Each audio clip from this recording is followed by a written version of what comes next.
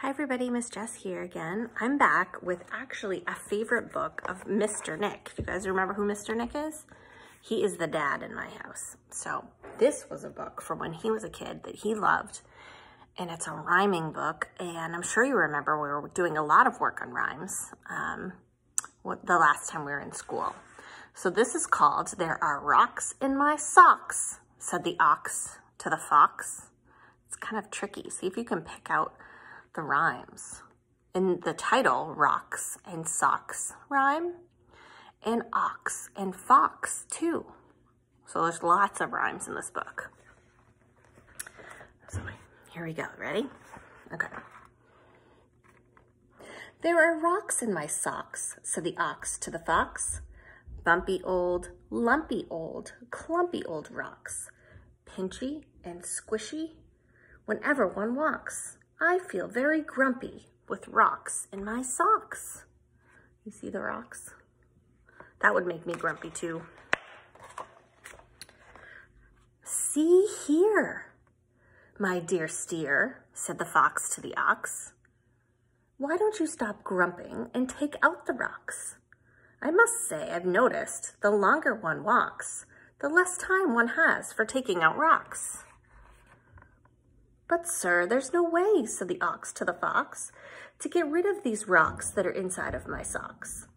With my shoes underneath and my feet firmly on top, I see no way at all of removing the rocks.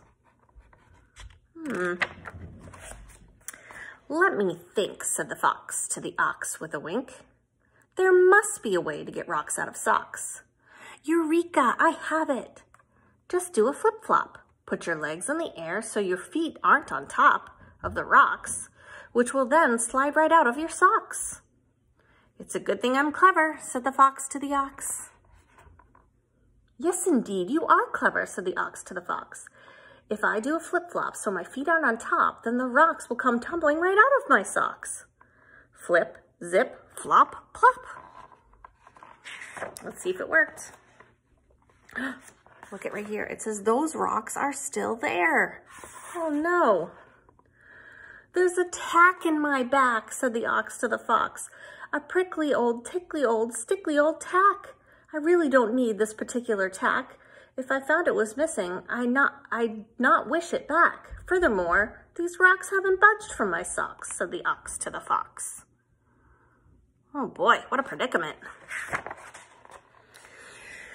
Said the fox to the ox, there's no need to sigh. I'll have it all solved in the blink of an eye. Quick, flick your tail beneath your back, and you'll knock aside quickly that prickly old tack. You're lucky I'm here, said the fox to the ox. Yes, you're a great help, said the ox to the fox. With a swish of my tail, I'll give that old tack a good whack, and it'll knock it from under my back. Swish, swish, wump, thump. Hmm, what happened now? Oh boy. There's a rail on my tail, said the ox to the fox. You see that picture? It's black and white. A naughty old, cloddy old, roddy old rail. I'm sure if this rail were placed on a scale, the whole thing would weigh just as much as a whale. I venture to state that in time one would hate the very great weight of a rail on one's tail, not to mention the tack that's still in my back and all of the rocks that are still in my socks, said the ox to the fox. Oh boy, this poor ox. There, there, don't despair, said the fox to the ox, for it's true, don't you see? I'm sure you'll agree.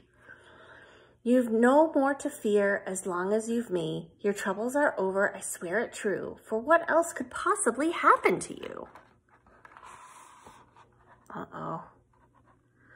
Bzzz, flit, slit. What's that? Looks like a bumblebee to me. Said the ox to the fox, Thank you, my friend for your faith that my troubles will come to an end. Perhaps you are right to make light of my plight, but it seems that the end is not quite in sight. For here I remain with rocks in my socks, an attack in my back, and a rail on my tail. And if that's not enough, I believe a large bee has decided to stop and rest on my knee.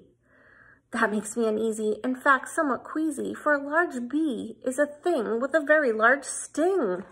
It's right here. It's in black and white.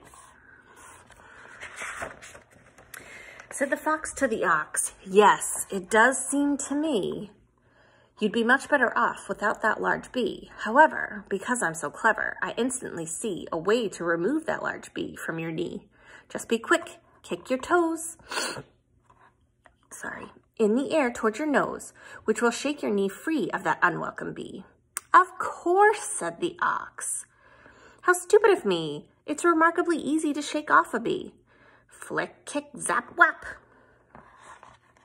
See what happens. Said the ox to the fox, You've observed, I suppose, that I have kicked myself hard in the nose. Ouch. Meanwhile, the large bee, not choosing to flee, has been startled instead into stinging my knee, which I confess is quite unpleasant for me. What's more, these rocks, still stuck in my socks, and the tack in my back, and the rail on my tail, I do believe it's fair to state my situation is less than great. Skippity hippity hop stop. There's the bee that stung his knee. Boy, it just keeps getting more complicated. My word, said the bird. Let's see if you can see this picture better if I do this. My word, said the bird, my eyes must be blurred. I've never seen anything quite so absurd. A big grown-up ox with his back on a tack and a rail on his tail and a bee on his knee gives his own nose a whack Please don't go, Mr. Fox. As for you, Mr. Ox, would you care to relate how you got in this state? There's the bird right there.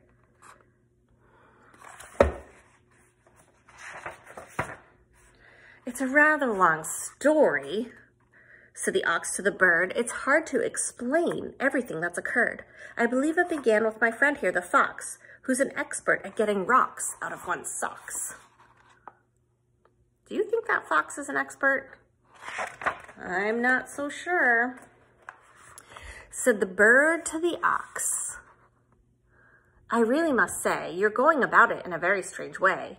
Why not simply roll over, lift your back off that tack, then just slide your tail out from under the rail and straighten your knee, so, which so obviously will set the bee free. So, mumble, tumble, roll, Bless my soul, said the ox. Now take off your shoes and take off your socks. Try wiggling your toes, then dump out the rocks. Next, put back each sock and put back each shoe, which is all, Mr. Ox, that you need to do. Is it true what I've heard, said the ox to the bird? All I need to do to get rid of these rocks is to take off my shoes and empty my socks? Well, of course, said the bird. Jiggle wiggle, bump bump bump, thump wump lump. Look at that, the rocks are coming out. Onto whose head? Mr. Fox.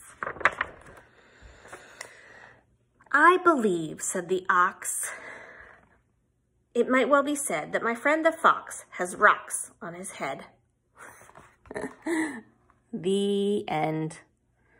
I don't think the fox was that smart. I definitely think it was the bird, huh? And if you look right here, can you see the date right there? It says 524 1983. So this is a very old book.